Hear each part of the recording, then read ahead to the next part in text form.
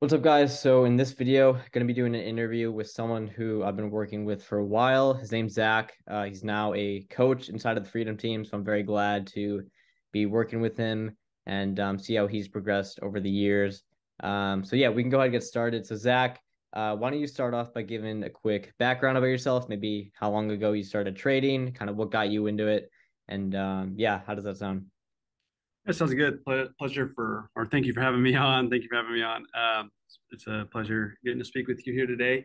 Um, so again, my name is Zack, and I started trading. Actually, it was like right at the COVID crash. So I had about oh fifteen hundred to two grand just like saved up from like different because I was in school, DoorDash, just like different money I had.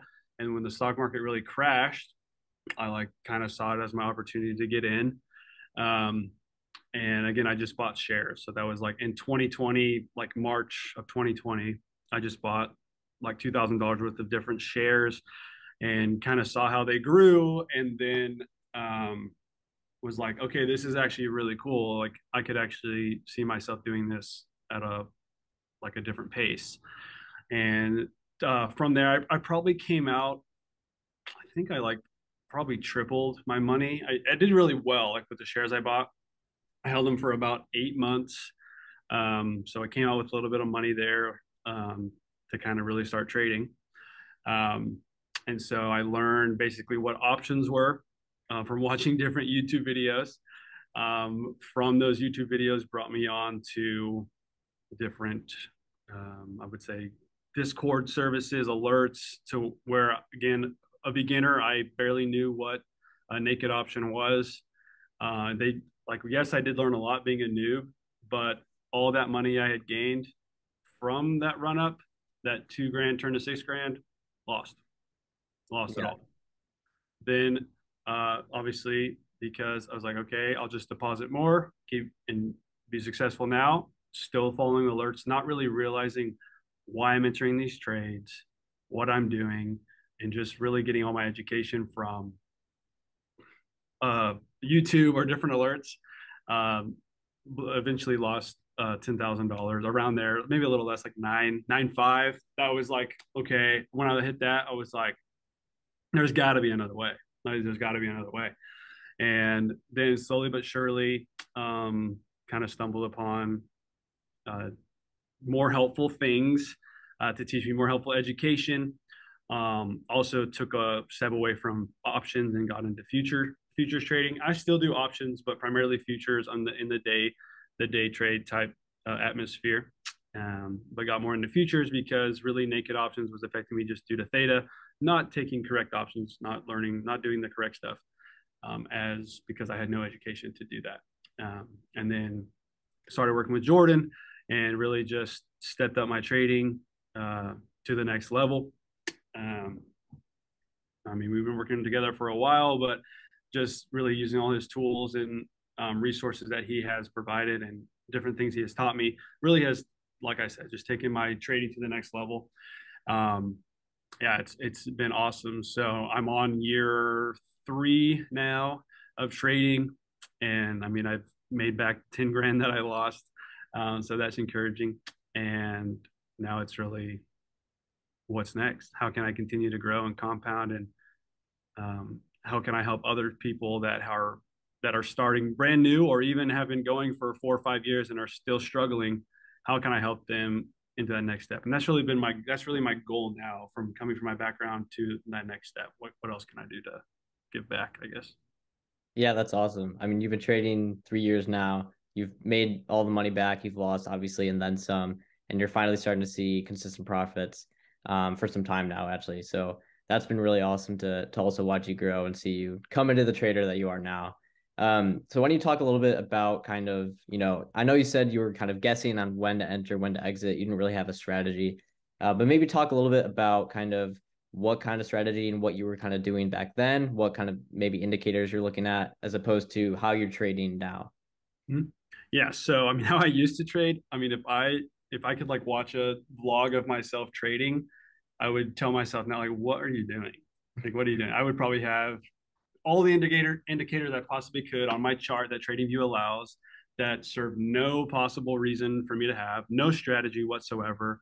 Simply saying, simply entering a position just because I saw my Discord notification pop off that said SPY calls at 400, strike price 130, zero DTE. And so I'd enter that as well, probably get a worse fill than them. And then over time, just lose, lose, lose, lose, lose. Um, now, I don't have a single indicator on my chart, just volume profile. Um, and strictly supply and demand based. Um, and actually, was we were talking before the interview, um, is how I've just completely lost that that need to trade, that itch, that feeling of, okay, where's where's the trade at? Where's the next trade? How can I find the next trade? It's simply just, all right, I I log in at 815, 810, look at the chart, look at where we did pre-market, sit there, wait. 845 rolls around. I haven't entered a position 850, 9 o'clock, 915, still haven't entered. By by 930, I'm like, all right, well, nothing showed up today. Uh, we'll look, we'll try again tomorrow. Completely shut down all, all my system, all my trading, and move on. So like just a complete 180 from the sitting in front of my chart for the entire day to I'm consistently at an hour a day, if not less. I'm typically a, I've kind of transitioned myself into a one to two trades per day, and then I'm done. If I win one, I'm usually done. If I win two, awesome. But usually, I've I could just grow into that no over trading, slow growth, patience, slow compound, and obviously your help has been the main reason for that. Yeah, that's awesome to hear. I know a lot of traders, especially myself when I start out, you know, I was sitting around just looking through every single stock on my watch list, trying to find a trade when there's nothing there. Um, so that's really awesome. Um, so yeah, obviously, um, you know, previously when you've been trading, obviously you've had a lot of emotions affect you while you've been trading. And so obviously you've learned some different techniques on how to cope with that. And now you're, you know, being a lot better with your mentality and trading and your psychology around that. Um, so why don't you talk a little bit more on kind of, you know, after going through the mentorship and what you've learned from me, you know, maybe some of those techniques you've used or like anything uh, you can talk about of how your mental game has changed over the past year or so trading. Yeah. So uh, great question. I mean, really it all comes down to um, if I can't have discipline in my life, how can I be a disciplined trader? And they go hand in hand. I mean, I think, I think learning discipline in trading is what set me apart in life. I don't think like I know for a fact that my discipline in life a year ago, a year and a half ago was terrible. Like constantly sitting on my phone, not going to the gym. I mean, even though I had to because I was an athlete, but it was it was like I had to or I was going to be punished. Like mm-hmm. if it was anything extra that I would do on my own, no, I'm not doing that. So slowly transitioning from that mindset to okay, if I don't do these things, then I know my trading is going to suffer. If I'm not disciplined in my life, I know I'm not going to have a good day trading. So I've also forced myself to one thing I did early on as well was like as soon as I got done with sports was if I don't go to the gym in the morning, I can't trade that day. And that's that was kind of my thing like for the first probably 6 months when I started seeing growth was like okay, if I don't go to the gym in the morning before market open, I'm not allowed to let myself enter a trade. Like I don't even open the chart because it was like if I'm not disciplined enough to wake up at six to go to the gym, I'm not disciplined enough. I'm not going to be in the right mindset for that trade. For the for the trade. I know I'm going to overtrade that day because every time I would overtrade. So now, I mean, with the mentorship and learning from you, just really just taking that step back and finding other things to fill my time with, like trading shouldn't be your it's not meant to be your only form of income your only passion just like if you work a nine to five and that's your only income you're going to be stuck in that nine to five trap for forever. You're going to you're going to put all your pressure on okay i have to work overtime so i can pay the bills. If if trading's your only form of income you're going to say okay i have to take 20 trades today and i have to win them all or i'm not going to be able to eat. So it's good to have that balance to find that balance um, with trading personal life and really use the disciplines that you can learn in trading and use them in your personal life as well. So totally. Yeah. Yeah, that's awesome. And um, you know, congrats to you. You recently just had a daughter. That must be amazing.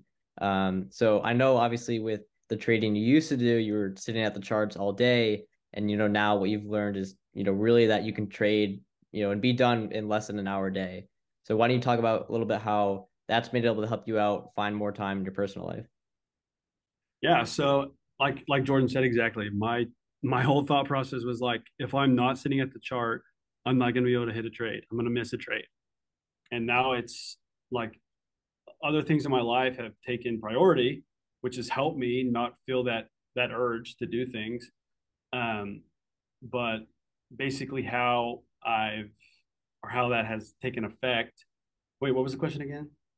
Just like how, because like before you were trading, you know, almost all day, looking yeah, yeah. at charts. Now you're only spending an hour. So like how, how has it been, you know, having essentially your time back, being able to not trade the whole day? Yeah, so being able to have my time back has um, really helped just obviously that balance of one, I don't have the urge to trade all the time because now I'm able to shut down, shut everything down and get back to my life. Because the purpose of learning this skill, becoming a great trader, is to have freedom. And that's why the name of our mentorship is Freedom Team Trading. The purpose of learning to trade the stock market is so you can enjoy your life. It's not so you sit in front of the screen the entire day having anxiety towards that. It's so that you can go out, enjoy your day, hang out with your family, take vacations, do countless things because you learned a valuable skill and are good at what you do. Yeah, for sure. And um, okay, so you know, before the mentorship, again, like you said, you were kind of guessing on when to enter, when to exit. And now you have a better plan of like a setup and you have more defined rules of when to enter, when to exit. You really have a strategy that works. Um, so can you talk about like how the mentorship kind of helped you figure out that strategy and how that's helped you make like more consistent profits? Yeah.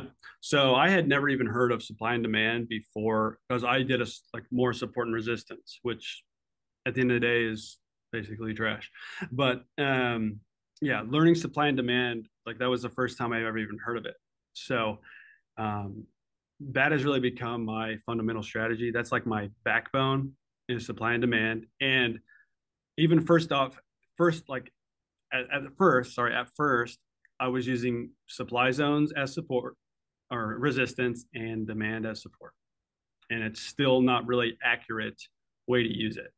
Um, but so through the mentorship, through your teachings, I've been able to identify other ways to utilize supply and demand. Because I think like if you only use supply and demand, you're going to be like less than 50% of your trades will win, be winners. Um, so you have to have other tools with the supply and demand.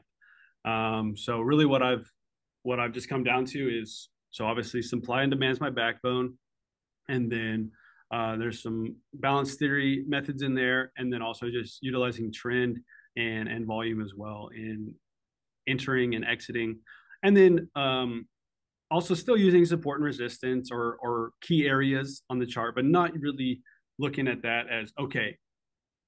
Just because SPY is at four 400 today and there is supply there, doesn't mean I'm going to go short. It doesn't mean I'm going to go short. Um, so really use like what's the trend, looking at the trend, looking at the multiple time frame analysis, um, and really just changing the game of having a plan and having an entry, having a stop, having an exit, sticking to that because I know and I know why. I know why that that's the level. I know why that that's my exit, why that's my stop.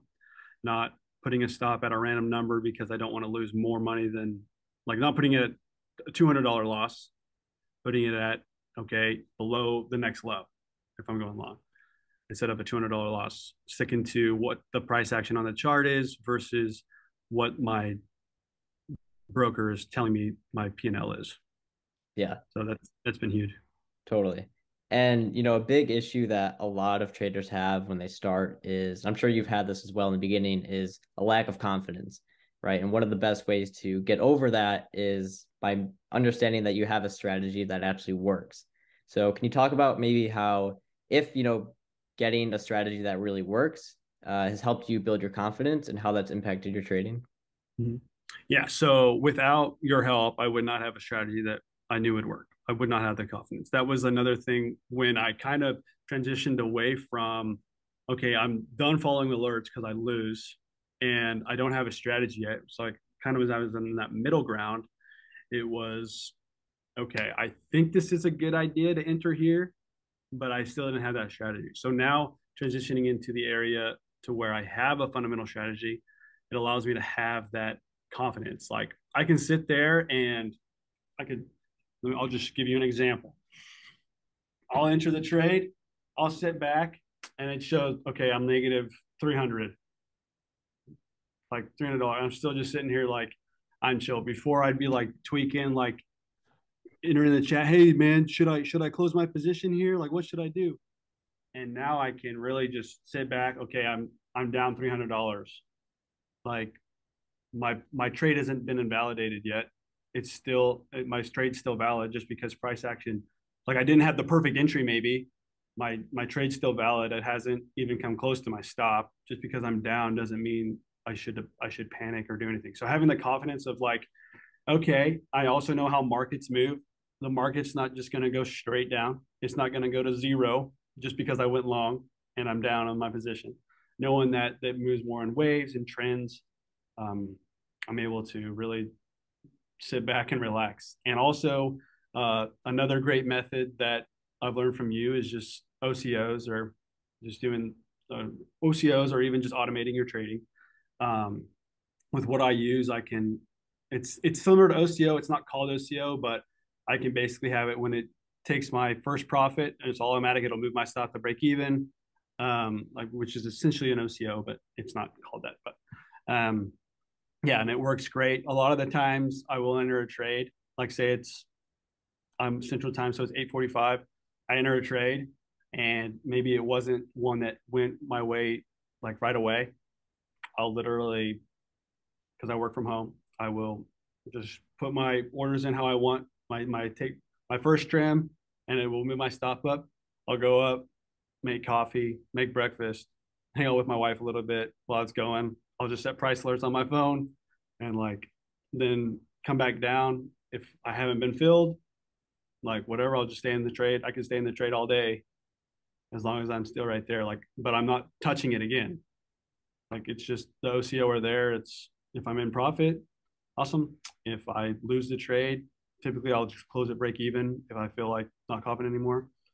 But yeah, knowing knowing kind of how the market's going to move and um, knowing that my strategy does work because not only have I tested it countless times, you have hundreds of other people have as well have been using this um, to their abilities to um, really just change the way they trade and change the way uh, everything with the market's going to work. So, yeah. Yeah, and you know, automating your trading is something I love to do, and it's it's it's key. It's I just set my stop, set my target, walk away. I don't have any emotions. I can just let the trade play out. That's that's awesome. Um, cool. Well, I know you're busy. I don't want to take up too much of your time, so I'll leave you with this one last question here. Um, you know, what advice would you give to someone who's thinking about joining the mentorship, but they might be kind of on the edge, not quite sure? You know, what would you want to say to someone like them? Do it. This is going to be the last course, the last anything that you ever have to purchase for yourself. It's going to provide you with all the tools that you need to be successful. It's going to provide you with a community of some profitable traders and traders that maybe just like yourself that are learning. So there is a strong community. I was like, we have people that um, don't even know, know how like what a naked option is to people that have a $300,000 account that are trading shares because they have enough money to do that. We have both. Okay, we have all the tools that you're going to need moving forward. And this basically one time investment in yourself is going to be the last investment you'll ever have to do with any type of trading. The only other type of reoccurring expenses that you may have would be your TradingView subscription. That would be it. Outside of that, you're never going to get a monthly bill from Discord. You're never going to get a monthly bill from Telegram alerts, whatever it is. You're this is all you need. It's the last investment um, going forward that's going to one up your trading and really change the game for you and make you a successful trader. So, yeah, love that. I completely agree. Um, but yeah, Zack, thank you so much for coming on, taking the time to interview with me. Um, I know we've been growing the Freedom team, and you know people so far have been getting amazing results. So I'm glad that you're part of the team now, and uh, we can continue growing that. So yeah, if you guys did enjoy this interview, um, there should be some more down below with other students inside of the Freedom team. So go ahead, check that out. And um, Zack, again, once again, thank you so much for coming on. And um, yeah, looking forward to everyone else who joins in the Freedom team. Excited to have you guys.